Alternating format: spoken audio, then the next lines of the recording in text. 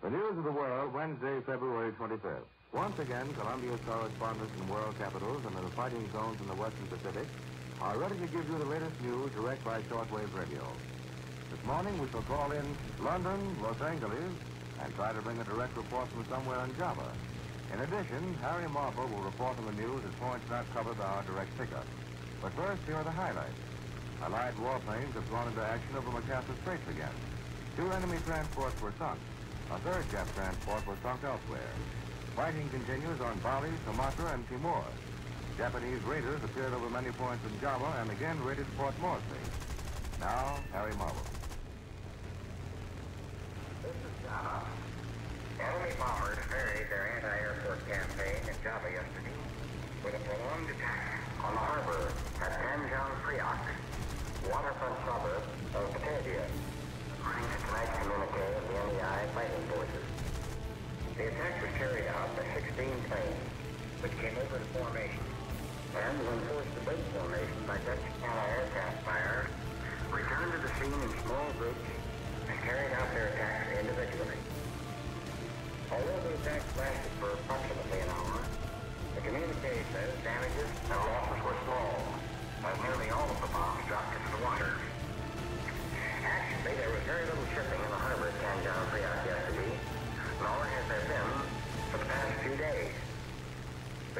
Are still unable to understand why the Japanese delayed this long-expected attack so long, because an air raid timed to follow the evacuation of Singapore could hardly have failed to result in enormous losses.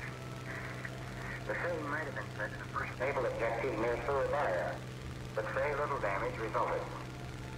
Yesterday's air activities over various parts of Java resulted in one Japanese fighter and one Japanese bomber known to have been shot down, while three other fighters, murdered by the bombers, are believed to have met the same fate.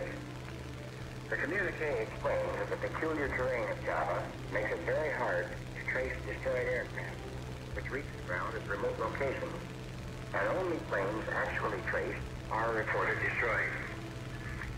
Now, We take you now to London and Joseph Evans, Jr.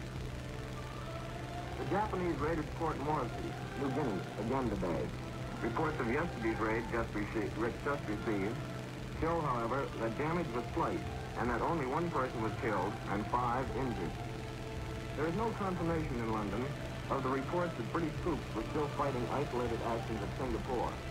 Churchill's disclosure that more than 73,000 British, Australian, and Indian soldiers had been captured when Singapore fell left little hope that any small group still holding out would get very far against the Japs. The Royal Air Force was in action again last night, laying mines in enemy waters.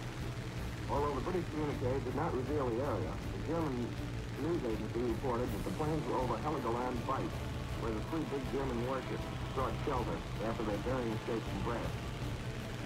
During a fighter sweep over France yesterday afternoon, the toughness of the Spitfires was proven again when one hit a telephone pole in a low-level attack and still came home with a part of the broken-off pole jammed in the wing. It was piloted by an American, Pilot Officer J.J. Lynch of Alhambra, California, who was a member of a Royal Canadian Air Force squadron. Lynch admitted that his plane rocked more than a little bit after the collision, but said that he hadn't realized it had been such a near thing until he found a piece of the pole after landing at his home airport. No enemy action was reported over Britain. Postings in the House of Commons yesterday revealed that Germany has promised safe conduct for a ship to carry wheat to starving Greece. The British authorities are still waiting, though,